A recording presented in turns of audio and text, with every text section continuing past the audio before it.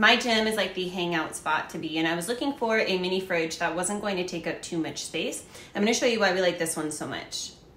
We already have a water cooler inside of our gym, so my point wasn't to get a massive mini fridge that um, was going to be too cumbersome, take up too much space, and then uh, just hold extra things that I didn't need to put in it. So that's why I wanted something more small and more compact.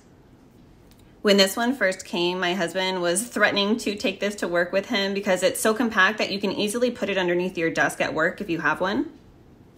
The first thing that I noticed with this is as soon as you plug it in, it's almost completely silent. It's one of the most quiet mini refrigerators that I have.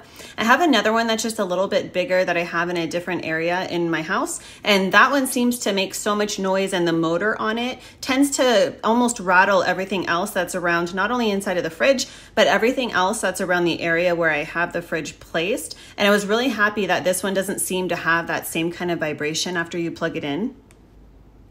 We like some hydration popsicles, so I thought it was a perfect idea to have this little compartment to put frozen things. Um, it's great for small items like our frozen popsicles, and everything freezes really well. I haven't seen that this has um, needed to be defrosted or anything yet. And I haven't seen another small compact refrigerator like this where you can actually put a two liter of soda inside of the door. So that's pretty awesome.